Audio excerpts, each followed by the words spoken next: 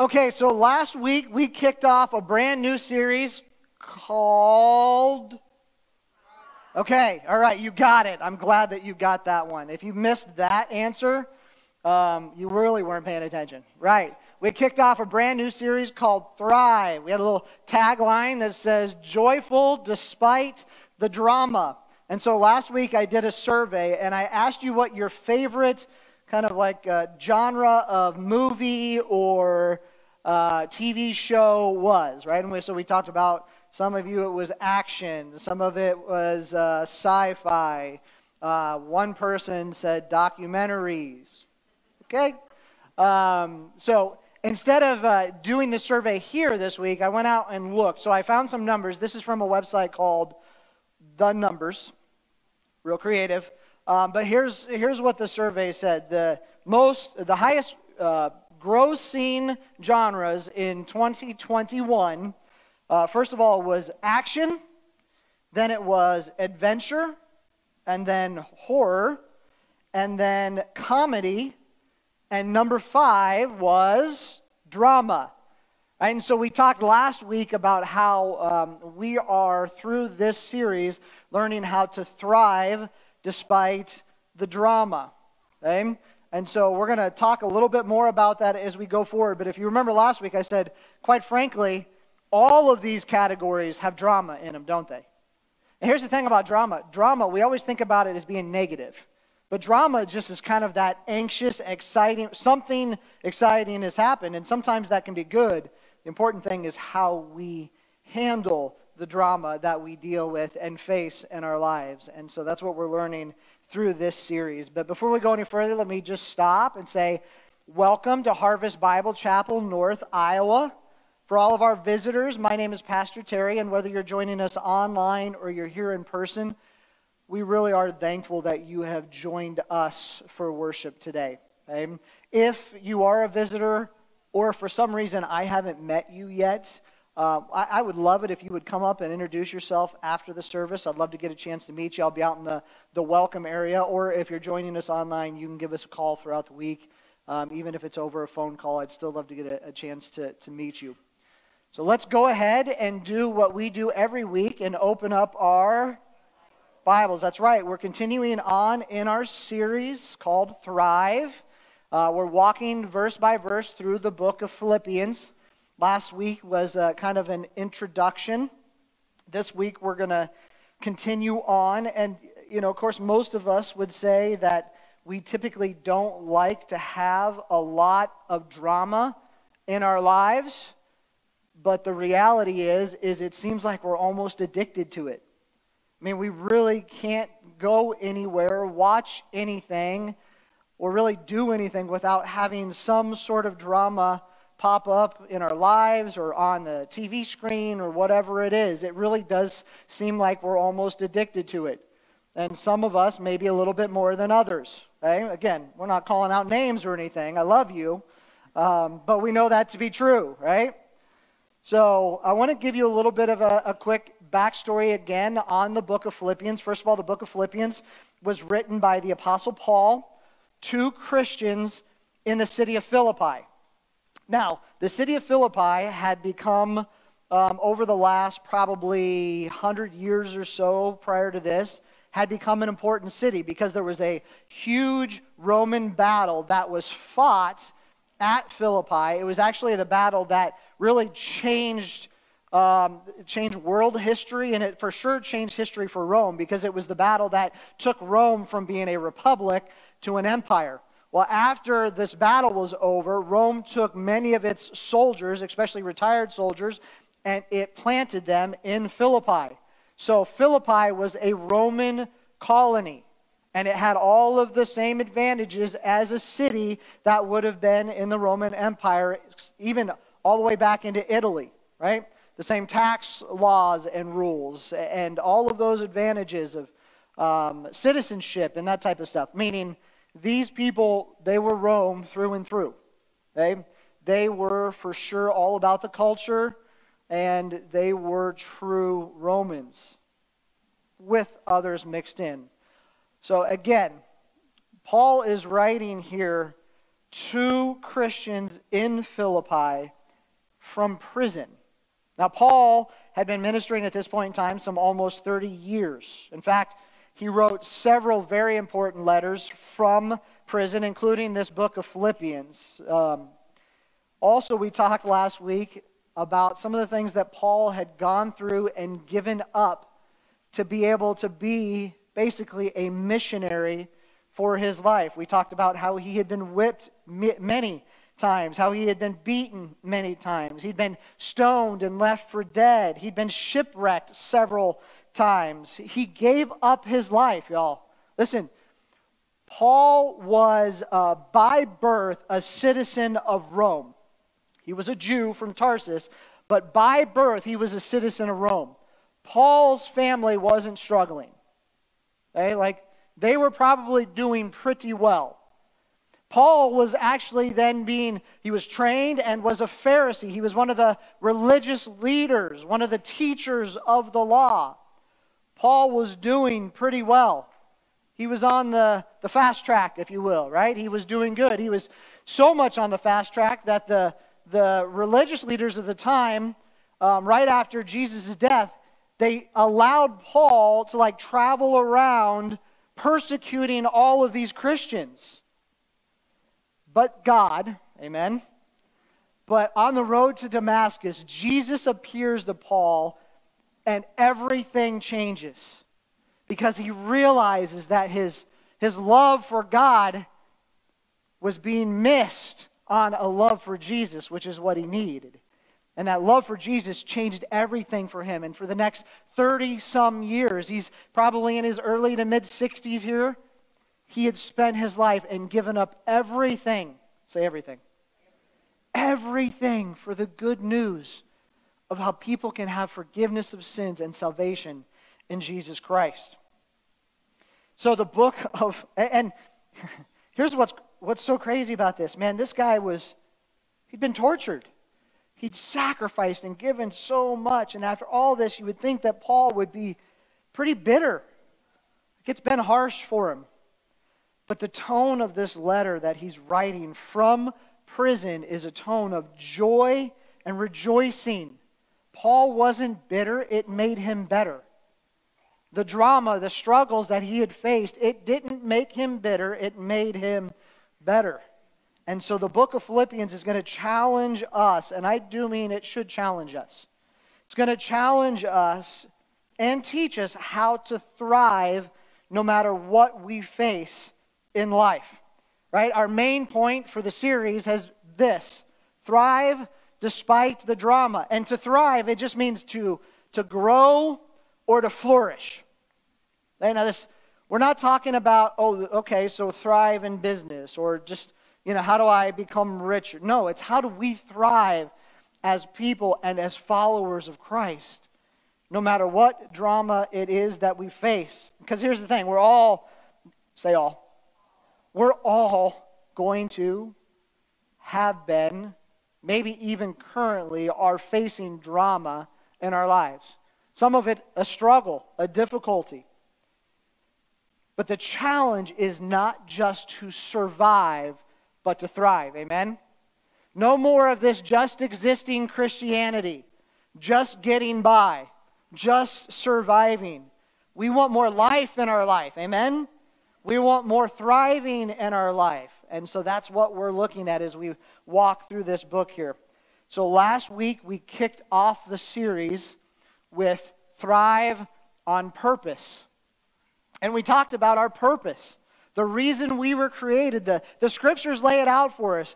You have a loving God who created you on purpose, intentionally, and He did it for His glory. He created you to live a life that would bring him glory. Right? He knows how he made you, and so he knows what's best for you. And when we live life for any other purpose, and I mean any other purpose, we're missing the point, and it means that we're broken.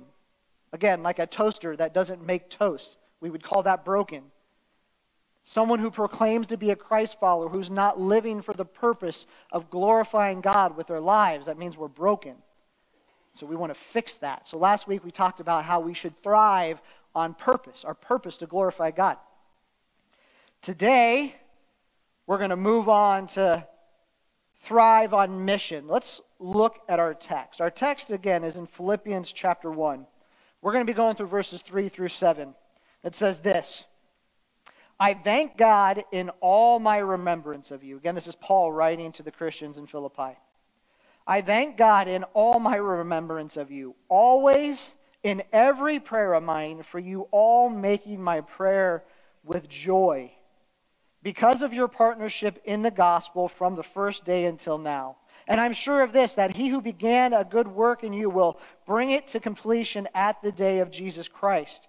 It is right for me to feel this way about you all because I hold you in my heart, for you are all partakers with me of grace, both in my imprisonment and in the defense and the confirmation of the gospel. Okay, so in verse 5 here, Paul gives us one of his reasons for his great joy. Right? This guy has faced some drama, he's faced some struggles in his life. And yet he's joyful. And he gives us one of the reasons right here. He, he says that his joy is in the partnership in the gospel. It's in the Philippians' partnership with him in the gospel. Now, we kind of try to avoid churchanese around here. You guys know what churchanese is, right? Churchanese is that kind of church lingo that typically only people who grew up in the church actually really understand. but let me give you a little bit of more recent kind of churchanese, okay? So when I say that um, Paul's joy is in the partnership in the gospel that he had, today a popular way of saying that in the church would be that um, as Christians, that we should be living on mission. Living on mission is kind of a, a new way of saying this partnership in the gospel. And our main point for today, again, it's thrive on mission. And Paul was joyful because the Philippians, they were living on mission. They were giving plenty of examples. And let me just stop here real quick. Here's, let me make it simple for you. Here's what living on mission really is. Living on mission means that you and I are called, say called, we're called to live as missionaries wherever we are. Amen? That means for some of you, some of you may be called to be missionaries overseas. The United States historically has sent out more missionaries than anyone else, although that is dwindling a little bit. But maybe that's your call. But maybe your call is just to be a missionary in your neighborhood. Maybe it's to be a missionary at work. Well, let me, let me just take out this word maybe, okay? Wherever you are, we are called to live as missionaries, to think as missionaries. Our focus should always be on our purpose to glorify God. And if we're living out that purpose to glorify God, it's automatically going to it's going to cause us to do this like where can I serve? Where am I supposed to be serving for the Lord? Where am I supposed to be acting as a missionary? Who am I supposed to be seeking? Who am I supposed to be reaching out to? That is what it means to be living on mission. Every one of us who claim Jesus as Savior has been charged with living on missionaries, living as missionaries right where we are every day. Today's focus, though, as Paul's writing this, he actually focuses on the partnership involved in living on mission. He actually says it's a partnership. The idea is I can't do this all. Our elders can't do this all. One or two of us can't do ministry and the mission of spreading the good news of Jesus Christ to the world. We can't do it alone. We're not supposed to do it alone.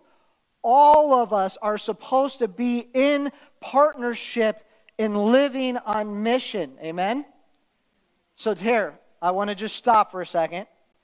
Notice I'm wearing my You Are Love shirt. And I know some of you have picked up that when I typically wear my You Are Love shirt, it means I might have to say, Hey, I love you a lot.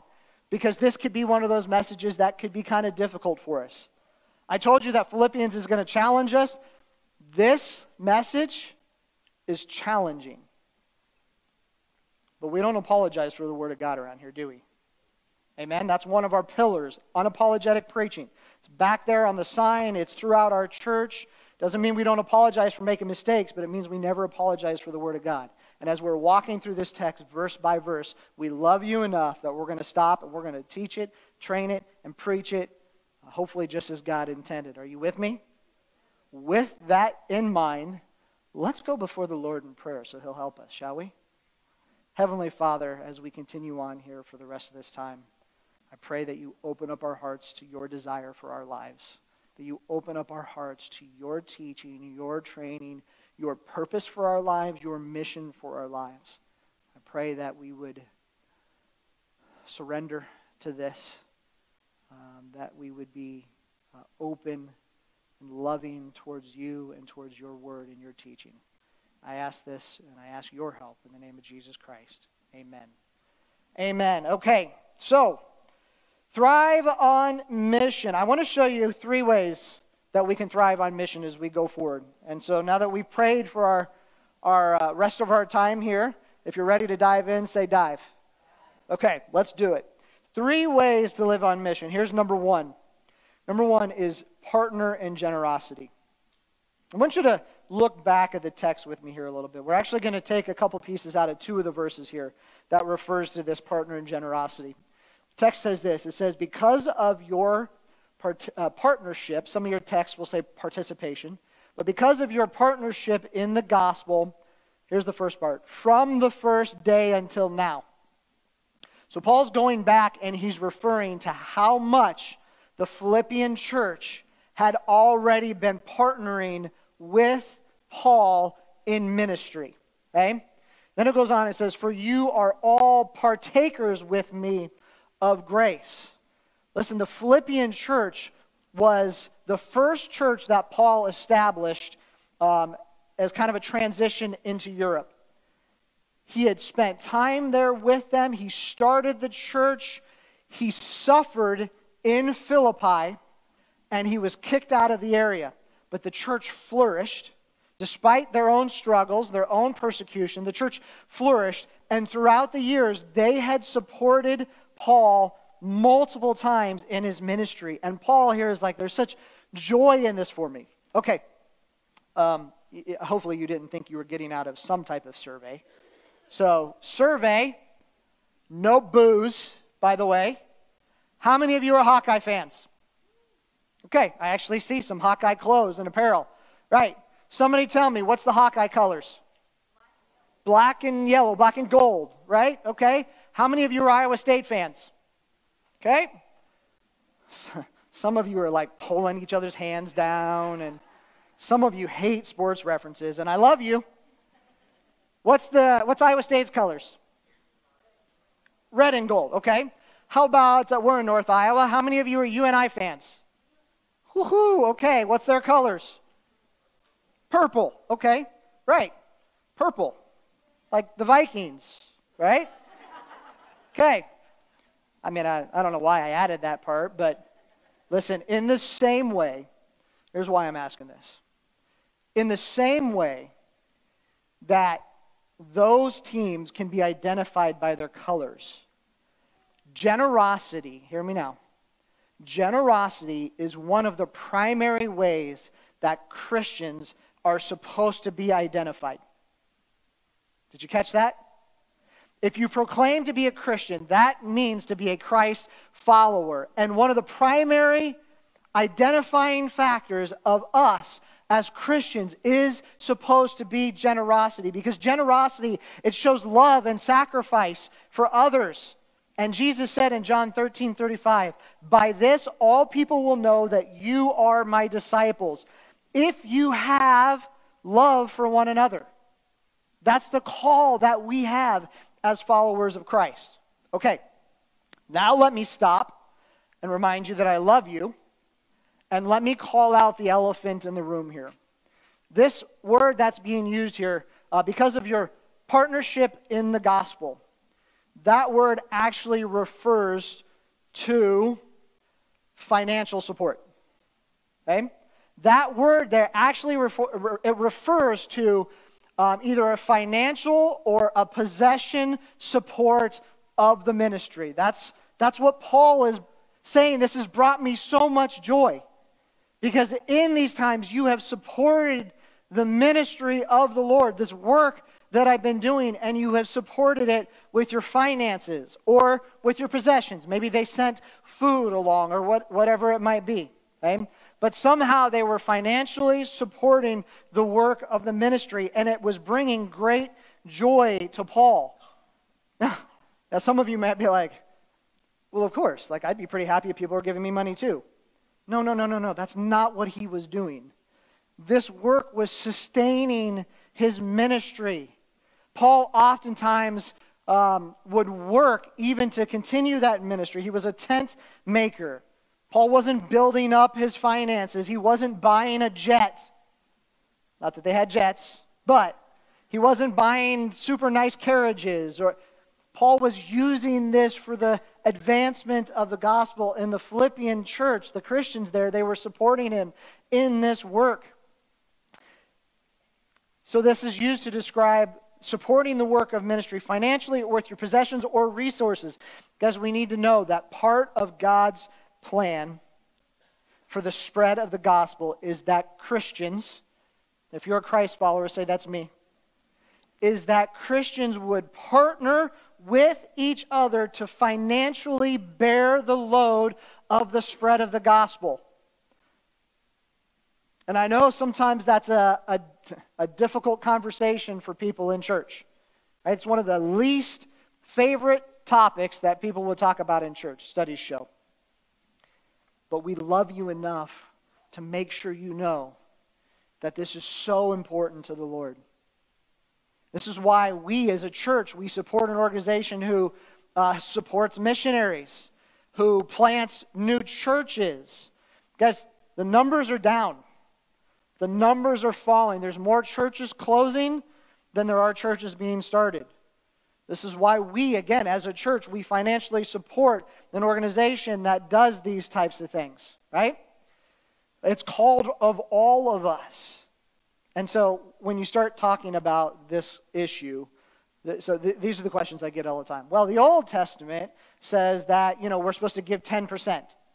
Uh, but the New Testament, you know, in 2 Corinthians 9 7, it says, each one should give as he has decided in his heart, not reluctantly or under compulsion, for God loves a cheerful giver. Say amen to that. That is, so in the Old Testament, that was before Christ. We were under the law. And there was a law that we were to give 10% of everything that we gained to the temple, which like the church.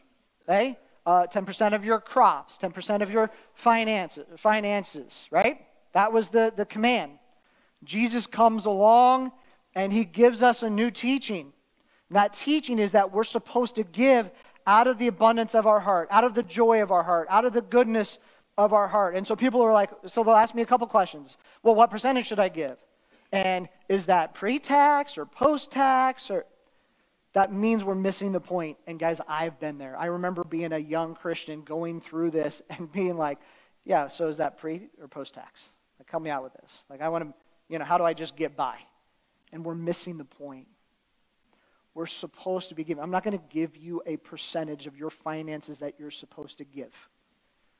It says it's supposed to be out of the goodness of our heart. Here's what I'll tell you for my family I for sure don't want to stand before the Lord and feel like I loved him less than the people who came before me, and that I didn't give more graciously and more generously.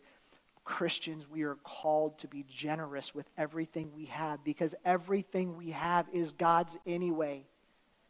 And his call for us is to give back a portion of what he has given us. So here's what I would encourage you in on that. Whatever that percentage is going to be, settle it. Settle it in your family. Decide what it's going to be. Start there.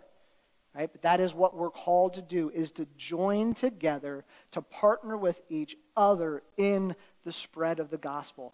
Now listen, the financial part isn't the only part of generosity. We're also generous when we're when we're loving to our neighbors and when we smile and when we spend time with with people. It, we're, we're generous here at church. How about when, uh, when you drive in and our, our greeters are out there directing traffic and they smile and wave, or you hit the front door and somebody says hi and good morning and waves, and we're. Every volunteer that serves here, you're all serving for the purpose of spreading the gospel. And being generous in that is what we're called to. So there's other types of generosity. But I want you to catch how important this is. Verse 6 goes on to say this Paul says, I am sure of this, that he who began a good work in you will bring it to completion at the day of Jesus Christ. Everyone should say amen. Let me say it again. We'll just we'll practice this, okay? I'm sure of this that he who began a good work in you will be uh, will be will bring it to completion at the day of Jesus Christ. Paul is talking about our salvation. Paul is saying he's so encouraged. He's got so much joy that the Philippian Christians had partnered with him in this ministry that it brings him confidence, assurance. He knew for sure that they were true believers in Jesus Christ, that their salvation was solid, solidified, sealed, there for all eternity not because of works, but because it was a reflection of their heart, of their love for Paul, and of their love for the Lord. Amen? Losing my voice. Because I didn't take a breath. How awesome is that? This is, um, many of you have probably heard. If you show me your checkbook, I'll show you what you love. If you show me where you place your resources, if you show me where you place your finances, if you show me where you place your time, I'll be able to show you the things that you really care about in life. And that's the, that's the lesson that we're learning here. Paul's great joy was that the Philippian Christians were giving us a great example of how to live on mission. So we should thrive on mission by partnering in generosity. Okay. One, partner in generosity. You still with me? Okay. That doesn't mean this is the last one, by the way. Here's number two partner in struggles, right? So, our series is our Thrive series. And today we're talking about thriving on mission. Three ways to, to live on mission. Number two is partner in the struggles. Look at Philippians 1, verse 7.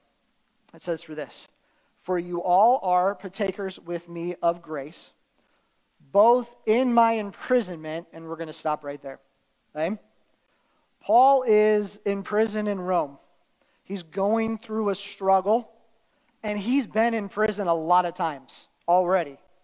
He's already fought through this time and time again. And the Philippian believers, they were supporting him in his time of struggle. You know, uh, the city that I grew up in has three main hospitals. Three main hospitals. The name of those hospitals? Mercy, Methodist, Lutheran. Mercy is a Catholic hospital. I'll give you a guess on what Methodist and Lutheran are. Do we need to take a test? I don't think so, right?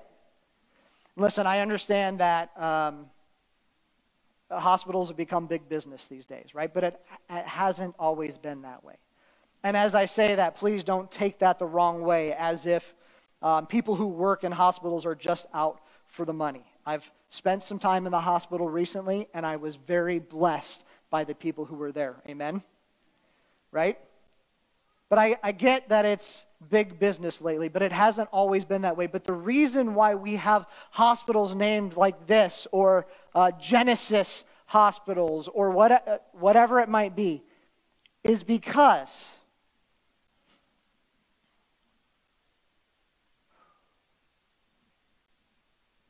It's because that Christians have always been the predominant force that ran towards people's struggles. Christians have always been the predominant force that ran into people's hard times.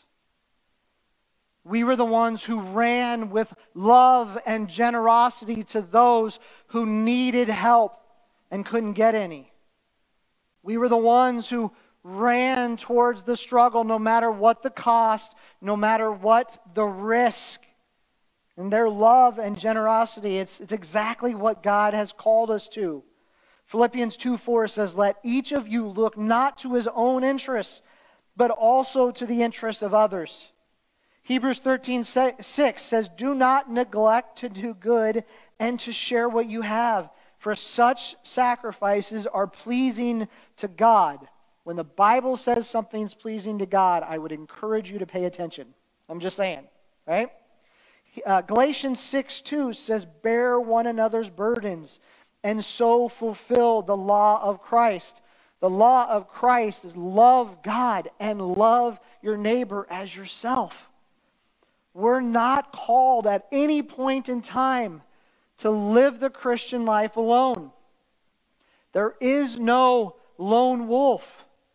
There is no doing it out on an island on your own. That's not what we're supposed to be.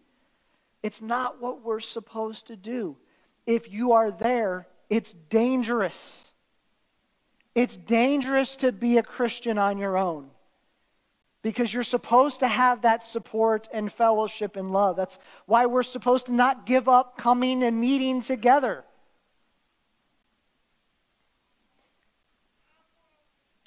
When plagues arose, Christians ran into the struggle.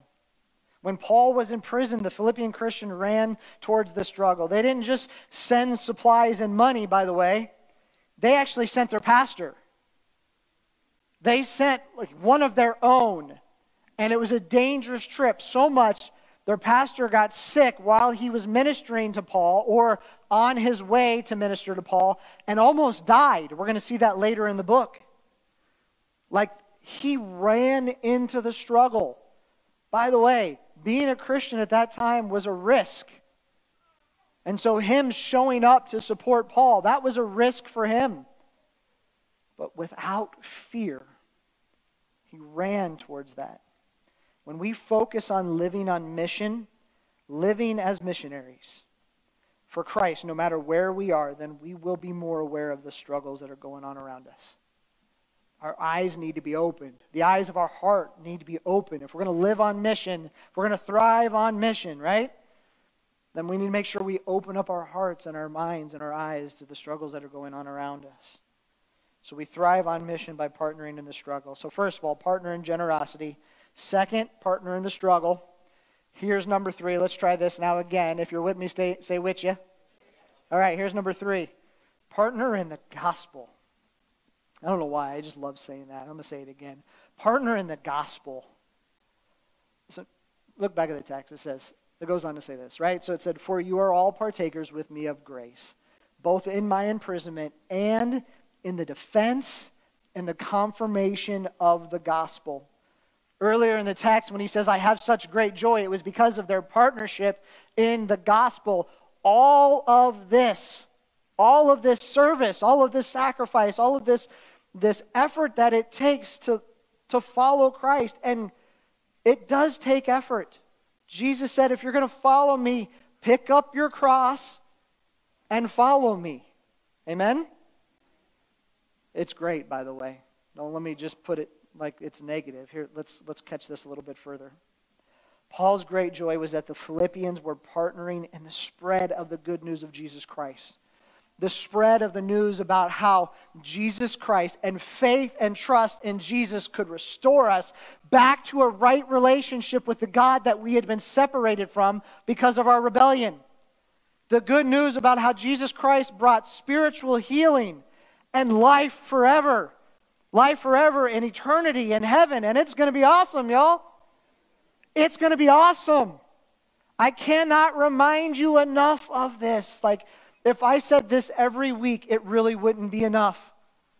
The promises that we have of no more sin, pain, heartache, suffering, it's coming. It is coming. At some point in time, whether we go to meet Christ first or he comes again, for those who have put their faith and trust in Jesus Christ as Lord and Savior. That eternal life. It starts now, and it's going to get even so much better in the future. Amen? Numbers um, show a significant decline in church attendance. So here's what I'm getting at. Again, this is a partnership in the gospel, it's a partnership in the spread of the gospel. If we rely solely on this church service, we're going to be in trouble, guys. We're not really going to make the impact in North Iowa and around the world that we want to make. If it's just about this, we're not going to make that impact.